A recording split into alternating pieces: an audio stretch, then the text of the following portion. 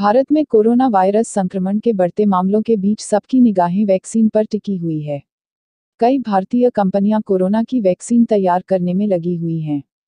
भारत में corona vaccine की तैयारियों का जायजा प्रधानमंत्री नरेंद्र मोदी खुद लेंगे।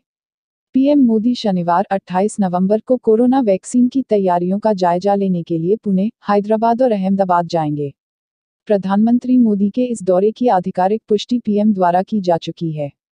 प्रधानमंत्री मोदी कल पुणे में सीरम इंस्टीट्यूट ऑफ़ इंडिया का दौरा करेंगे। इसके साथ ही वह हैदराबाद जाएँगे, जहाँ भारत बायोटेक का ऑफ़िस है, जो Indian council of medical research, ICMR के साथ मिलकर कोवैक्सीन नाम से स्वदेशी कोरोना वैक्सीन तैयार की है। पुणे और हैदराबाद के बाद पीएम अहमदाबाद जा सकते हैं। अहमदाबाद में जार्ज कैडिला की फैसिलिटी है, जिसने जिकव डी नाम से वैक्सीन बनाई है, जो दूसरे फ़ेज़ के ट्रायल में है, जिसका जायजा प्रधानमंत्री मोदी लेंगे। प्रधानमंत्री कार्यालय की ओर से जारी किए गए बयान में कहा गया है कि भारत सी उन्नीस के खिलाफ लड़ाई के निर्णायक चरण में प्रवेश कर चुका है।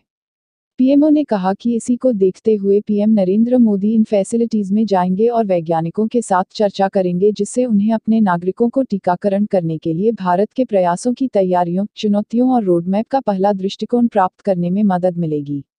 सरकार कोरोना टीकाकरण का पूरा खर्च उठाएगी।